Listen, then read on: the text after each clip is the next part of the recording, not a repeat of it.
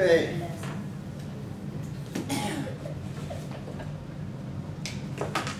As I've said in the past, most of your practice sessions should start with theory, okay? So theory, whatever that means to you. Old songs. Front See if we can get these things working. Under theory, when I try to give a class like this, what is important is motivation. That's it. So, how do you get motivation? Yeah. Well, you just have to decide that yourself. Everybody learns different, everybody motivates themselves different for various reasons. So, what I try to do is, within the teaching session, teach you what I have learned over a period of a lifetime, okay? And how I've learned it. And it all hasn't come from school, it's come from many different sources and so on, and so. on. One thing that is very important, in my opinion, is books. Okay, Now, they may be electronic books, but you've gotta have some, something in your hand or something for your senses to see, to learn. You can learn music by ear, but the bottom line is you won't get very far, uh, most people won't, unless you've got an exceptionally good, uh, ear for music. This is a book from when I was in kindergarten. I still have it. Okay, this book was written in the nineteen twenties, and most of the stuff in there is still pertinent and very, very well done. So any student can learn from it even today. So one thing I try to recommend is that if you, if you have an interest in something or you know it's important, especially to our young students, keep that book, okay? Don't throw it away, don't sell it. So I've got several books that I have gathered over my whole career of, of uh, being a student that fifty years later, they're still serving me. And it may be for twenty-five years, I don't need it, but later on it comes. And that usually comes from something that you show, uh, what we have called a passion for. Passion is a strange word, but most people who like doing something develop what is called a passion for, which means that they want to do it, no matter what. They want to do it, they've got to do it, they're willing to put out the time and effort. Last night, I watched a TV show, and this is on a new thing, it showed the passion that people have for something. And it's on drones. We've moved, into drones with our high-tech uh, teaching and so on. And this is a drone, uh, racing league, D, yeah, D, drone, R, L. It's a whole ha- hour show, and they also went to their website. And these are people now from across the world who are spending many dollars traveling in hotels and so on to race these drones, these little things that here, and they put on this reality goggles, okay, for the immersion vision and so on, and they race these drones around football fields and stadiums and inside big buildings and so on. So they asked the people what they did. One guy says, I practiced a half hour every day after work. That's what a passion is, mm-hmm. something you're gonna do it no matter what. I hear a lot of people say, I wanna learn that. You know, I said, well, don't say you wanna learn it, you've gotta do it. That's what counts, is doing it.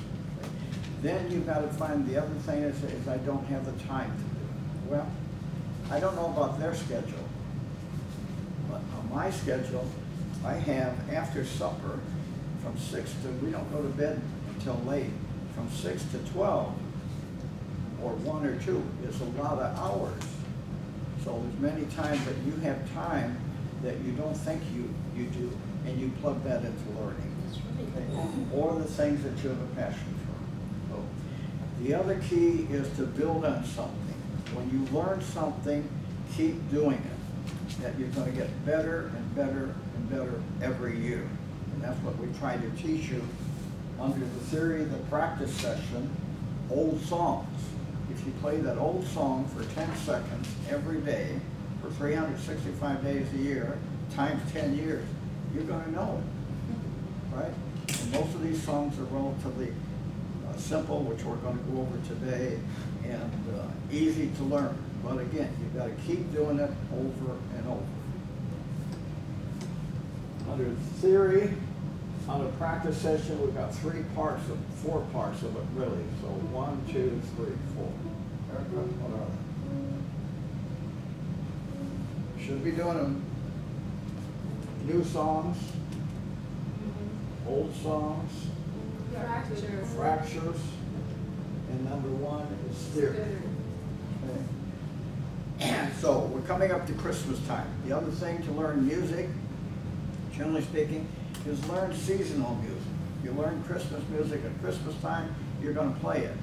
Uh, learn Happy Birthday and play it for somebody's birthday or everybody's birthday. Okay?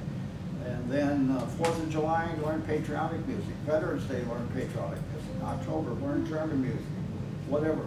But learn music seasonal that goes along with your life. All our schools are out of school in Christmas time.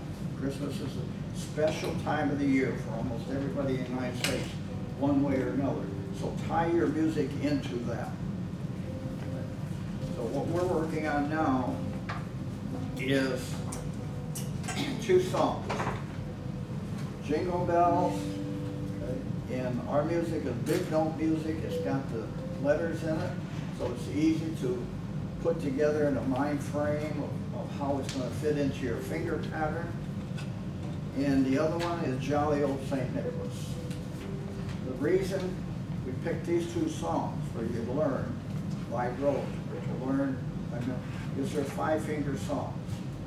For the chorus of Jingle Bells, you're gonna only use five fingers and you do not have to move.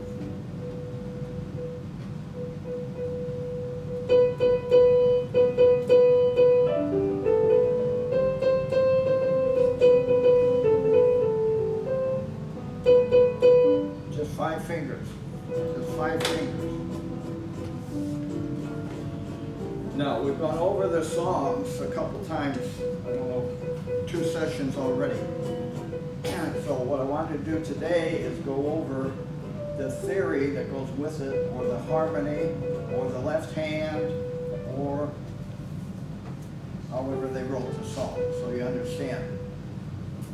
So if you take Jingle Bells, take Jingle Bells in the key of G.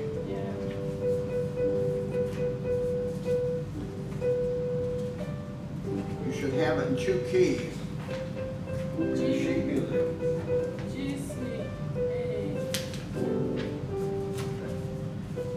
G.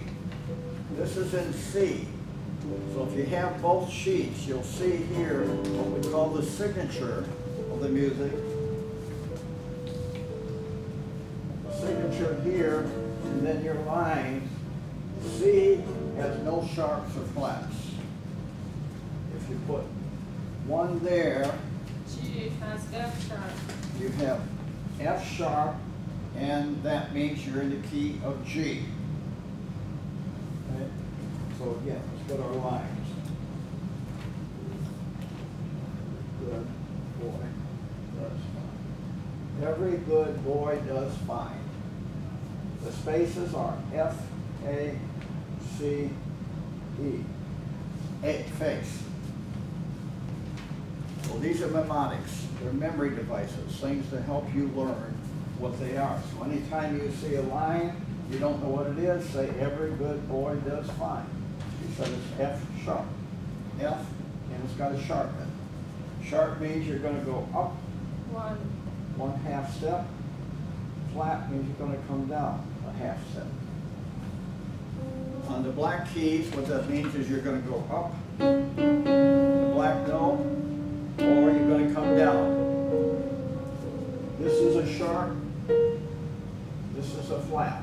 Up for sharp, Down. down for flat. One half tone. Okay? Now, we've gone over song structure before. The song structure is the way the people wrote the song. They wrote it against that harmonic pattern to give them that song. And it's written against harmony and it's written against the rhythm. In other words, these are different notes. Da, da, da,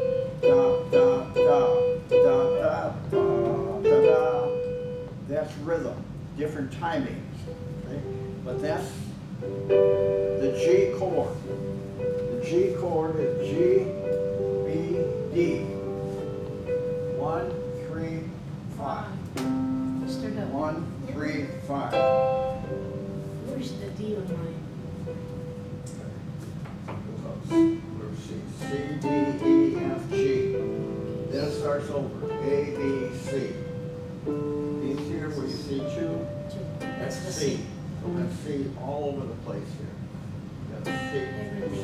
four, C three, C, C here, five. All the- all Cs. And you, you wanna start a different way, but we don't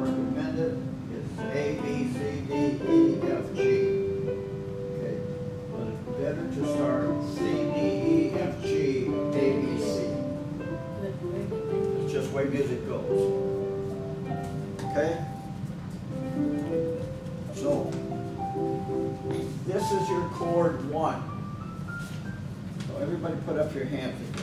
Okay. So if it's G, it's gonna be G, A, B, C, D.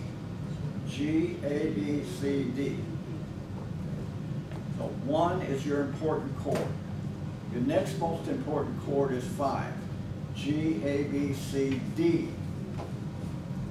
So that D, F sharp, A. That's chord five, Roman numeral five. So you have many songs that are just two chord songs. Then if you want to make it more complicated and sound better, they add number four. G, A, B, C. Now C is number four. So C would be C, E, G. So in the key of G, Jingle Bells always end with the G note and the G chord. It'll probably start with the G chord. Doesn't necessarily have to, but probably will. The G chord will be there during the whole song. Then it's gonna go to chord four, E, F sharp, A, back to G. They're gonna do what's called resolve. Always go back to number one. Same thing here with chord four, C, E, G. So if you look at your music there, you put your hand down, okay? Third finger on G, B, D, one, three, five. Put your third finger on B.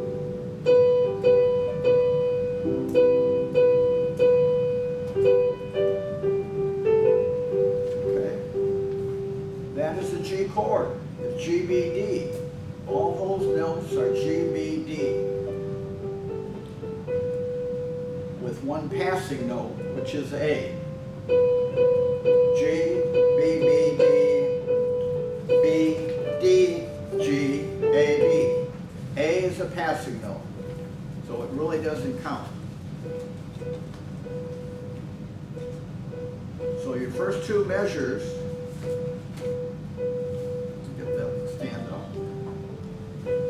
two measures, there's gonna be chord one. Okay. Now look at the next two measures. Now you've got finger four.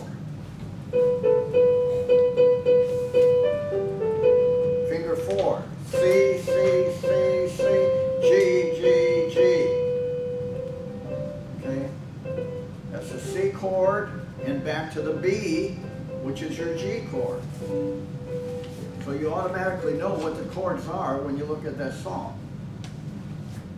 C is gonna be C, E, G. So the minute you see a C, more than likely, it's gonna be the C chord. Go back to the B, GBD is the G chord. So now, if you look at the music, you've got two chords per measure. Especially for the ukulele player. You see that? Yeah. Whereas at the start, you only have one chord per measure. Now comes the part where you have to start doing some learning. Uh, and we've gone over and over it again. It's the circle of fifths. C, F, G, B, E, A, D, B, E, A, D. One sharp, one flat. Okay? Circle of fifths goes this way. So one sharp, no sharps, one flat, then we come to two sharps and three sharps. And we also do one other complicated thing. These chords are what is a chord, what we call the basic chord, a major chord. Three fingers, okay? But you've got more fingers than three, right? You've got five. So you can easily use four fingers. So what they do to make it sound better,